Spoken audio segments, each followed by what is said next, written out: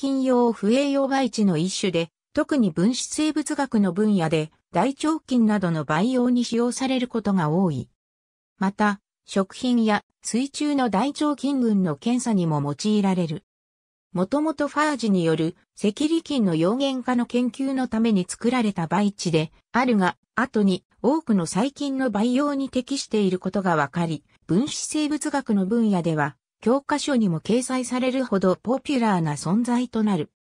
なお、大腸菌群などの検査に用いられる、乳糖 V4 培地も LB 培地と呼び習わすことがあるが、本校で述べる培地とは別物である。1951年に初めてこの培地を報告したジュゼッペ・ベルターニによれば、LB という名称は、ライソジニーブラスの頭文字である。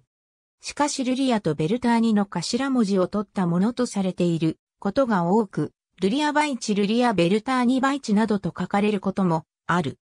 LB 培地の基本処方は次の通りであり、これによりアミノ酸、ビタミン、ミネラル、微量元素などに富んだ培地が構成される。塩濃度の違う複数の処方が知られている。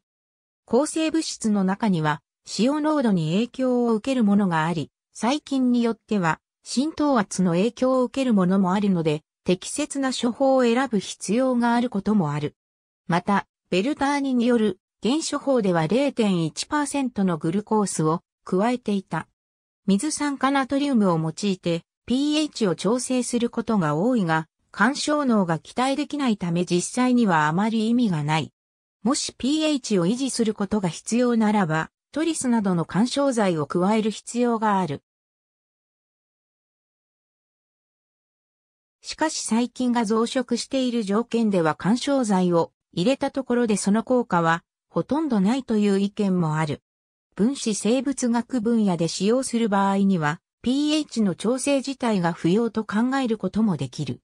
寒天培地として用いる際には1.5%のアガーを加えるのが一般的。ありがとうございます。